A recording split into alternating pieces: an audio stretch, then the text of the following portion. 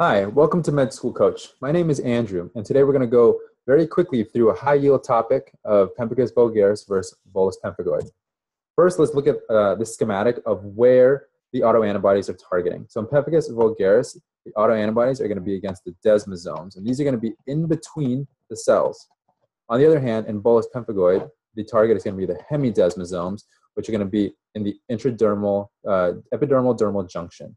A good way to remember this is going to be that bullous sounds a lot like below, so the target is going to be below the cell. Another useful uh, mnemonic is to know that hemidesmosomes, uh, the root hemi means half, which means the symptoms are always half as bad as uh, the target if, if the target were desmosomes. So we talked a little bit about the antibody already. So the antibody for pemphigus vulgaris is desmoglein, which is a part of the desmosome.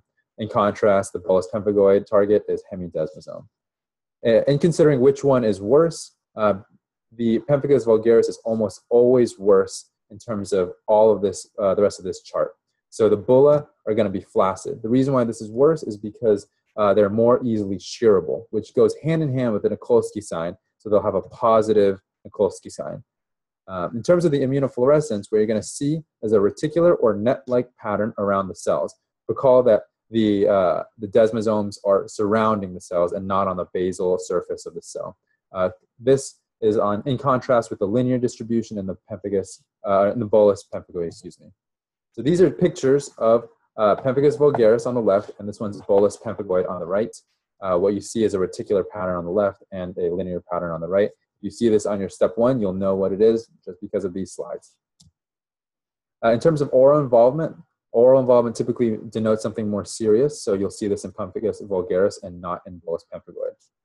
In terms of the age, you'll have a little bit of a younger distribution in pemphigus vulgaris versus uh, uh, bullous pemphigoid. You're going to have a 30 to 60 year old uh, majority of people who develop this, um, in contrast to someone a little bit older in, in bullous pemphigoid.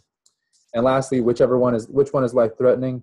Well, we talked about how pemphigus vulgaris is more serious, so you're going to end up with uh, yes here and no under bullous pemphigoid. So thank you for watching. For more information about our tutoring programs, please email info at medschoolcoach.com.